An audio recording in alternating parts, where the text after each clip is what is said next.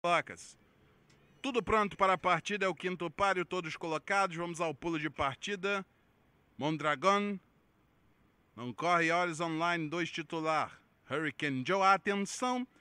Foi dada a partida para o quinto páreo do programa. Mondragon pela linha 1 vai tomando a primeira colocação, vai sacando um corpo inteiro. O Caiali vai forçando ali pelo miolo, tomou a segunda, avança, tenta a ponte, mas admiro, admiro lá por fora. Tomou de golpe a primeira colocação, vai sacando cabeça o Caiali em segundo. Com K, lá por fora passou para terceiro Mondragon em quarto. Hurricane Joe aparece em quinto, vão descer na grande curva. Admiro tem cabeça o Caiali em segundo. Com K próximo em terceiro, Mondragon lá por fora em quinto em quarto vai atuando Hurricane Joe. Vão se aproximando da curva de chegada e o ponteiro é o Kayali. Ele mantém cabeça e pescoço de vantagem. Admira em segundo. Lá por fora, Kankai em terceiro. Contorna a curva de chegada. Entram pela reta final a 600 do vencedor. O Kayali bateu na cerca. Mantém meio corpo de vantagem. Admira avança por fora com K. Se apresenta rapidamente aqui por fora na luta pela terceira colocação. Vão pisando a seta dos 400 e o Kayali manda no páreo. Ele mantém cabeça e pescoço com K pegado de canhota, avança na luta pela primeira. Eles vão se agarrar.